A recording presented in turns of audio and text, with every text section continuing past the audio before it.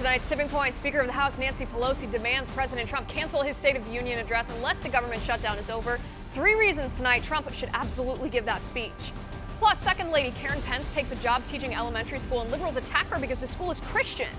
We'll also talk about the Democratic congresswoman who met with a pro Hezbollah activist, and the Democrats in Virginia trying to pass a sweeping gun control bill that would make millions of gun owners felons. I'm Liz Wheeler. Join me on Tipping Point at 9 o'clock Eastern.